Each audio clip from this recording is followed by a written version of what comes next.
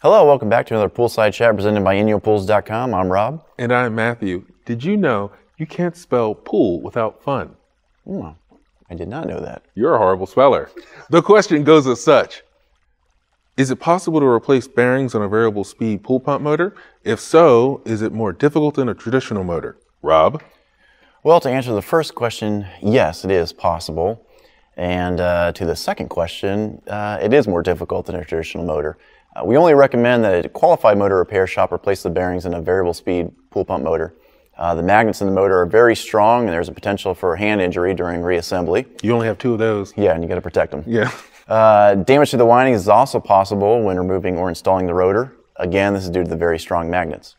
And if you're wondering, uh, am I qualified enough to do this, uh, replace these bearings? Chances are you are not. So if, uh, unless you're licensed, I would uh, steer clear and uh, maybe get a pro to do it for you. Now, if you have a single speed motor, uh, we do have guides and videos on how to replace those. They should be in the description down below. But take a look at those if you have a single speed motor. Uh, if you have any other questions about this or anything else, please leave comments down below. Uh, and for all of your pool and spa needs, please visit us over at inyopools.com. Thank you for joining us. Bye.